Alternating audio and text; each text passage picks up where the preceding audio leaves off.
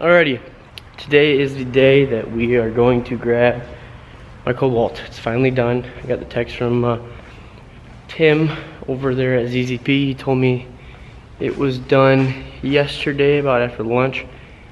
And I'll tell you the whole entire story after. I guess I can tell a little bit about it. Um, it had some problems. It ended up being a spun rod bearing. I think I said that in the update video. It was a spun rod bearing. It wasn't bad. I had to get um, new crank, new connecting rods, new pistons and everything. And uh, get my block honed out again, or honed, just because of for the new rings. And then um, put that all back together, got it on. It was making weird numbers on the dyno. It was running like crap, but it was still making over 400 wheel, and that was weird because they didn't know what who tuned it. They thought someone else tuned it, but ZZP actually tuned it last year. But the guy that works there now, forgot that Matt, the guy that works there, still tuned it. It did an aggressive tune on purpose, but it wasn't running right. That could have probably been why I took a poop, but um, yeah, that's why. And then um, what else happened? They got it all put together. They got it on the dyno, and then they finally tuned it. And I put on uh, my um, Instagram. It made 416 wheel. And then it, I don't remember what torque it was. I think it was about the same or a little bit more.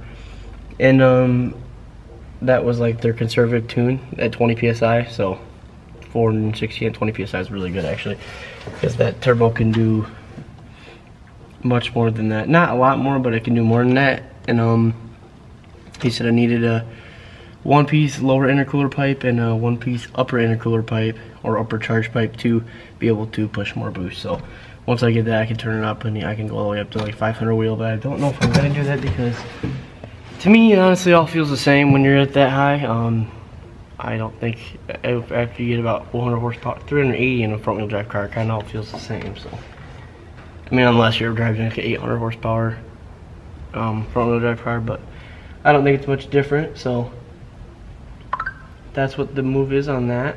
We're gonna go pick it up today. It's done. And when it was done, they went for one more test drive in it, and the throwout bearing failed, which sucked because I wanted to pick it up last week on Thursday. That's when it was done originally. And um, he said the throwout bearing failed, so then they had to dig into that yesterday, and they fixed it by yesterday. Still has the same tune. It's a 416 wheel at 20 psi on E85. It's tuned.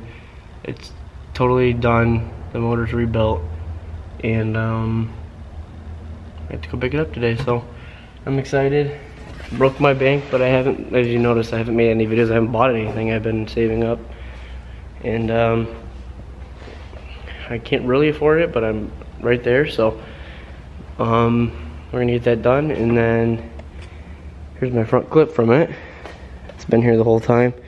It's broken on the sides. It doesn't sit up right, but I feel like everyone's Cobalts that I follow on Instagram and stuff, they all don't have really good hood to fender fitment, hood to like bumper sag fitment and everything's kind of weird so I guess I'm just gonna run it like that see if I can fix it a little bit but this stuff's just annoying so.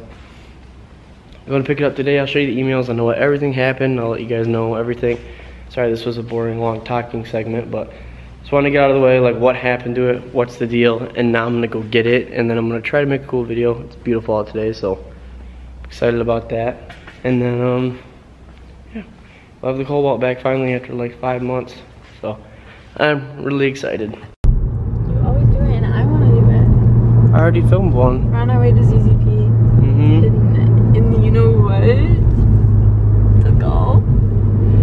The sloth. The Mark 6. The sloth. The DSG. With the new paddles that we put on there. Look at how look good. No, she doesn't use them. I do too. She's too scared. Uh -uh. Do it. I'm at a red light. All right, as you can see, we made it and she's done. And I'm excited because I have not started this thing.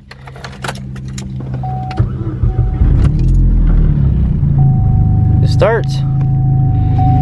So, now we get to go drive it. Very excited.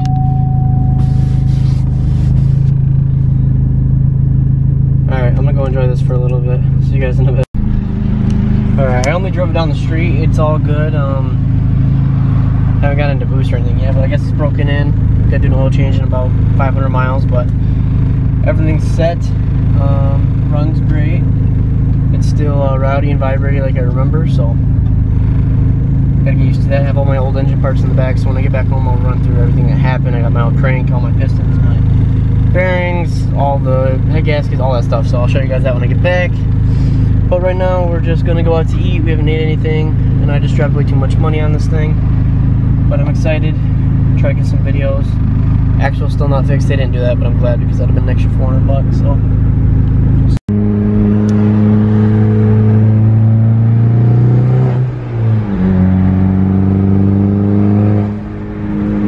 It's working. Six miles, continue to 77 to Listen to this boost.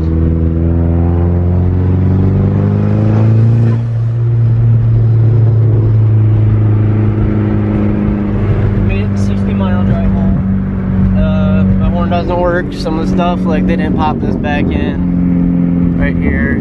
There's a lot of little stuff, and then there's a bunch of wet stuff down there under that carpet, like wet, like they smell like quart of oil or something. It doesn't look like, it looks like oil, doesn't smell like oil, and isn't oily, so. I don't know what it is, but there's a bunch of little stuff I gotta do. Gotta clean it, it hasn't been washed forever. I need to get a alignment, I need two kits.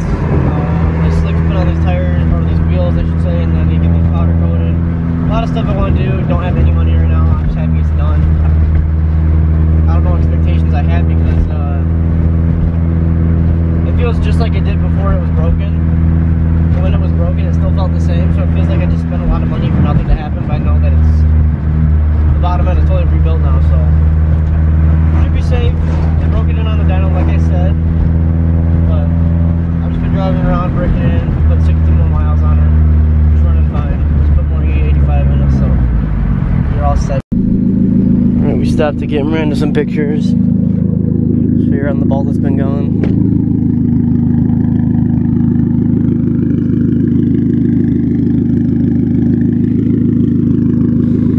It's running.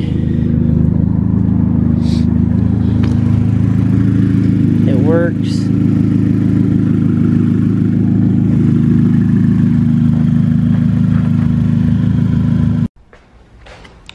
Alrighty. There's all my head gaskets and all the other stuff, my old flywheel and everything. There's my crank.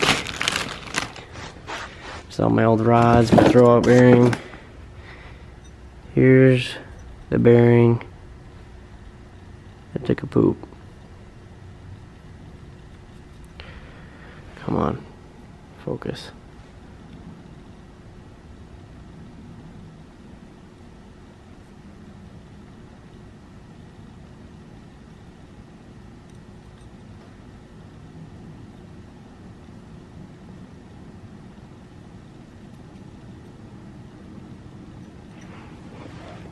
That's the bearing. I couldn't tell what rod it was, but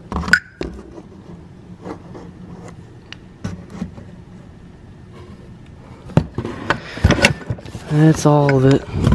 All my old spark plugs, my old rings are in here. My old oil control rings and piston rings. But that's what did it. Right there. Alright, I've been working out here for like two hours. I didn't get the horn fixed. Sadly, but I fixed my gap over here.